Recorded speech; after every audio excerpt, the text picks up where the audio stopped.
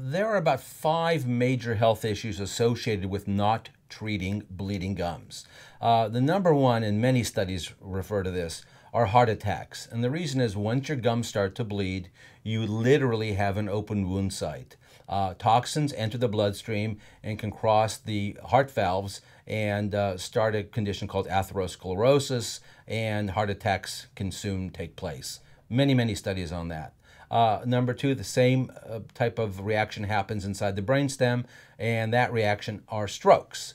Uh, number three, a study done at the University of North Carolina by Steven Offenbacher several years ago showed that these same uh, toxins can cross the placenta and can affect the fetus. Uh, so the end result for pregnant women, they are seven times more likely to give birth to premature low birth weight babies. Again, pregnant women with bleeding gums, seven times more likely to give birth to premature low birth weight babies.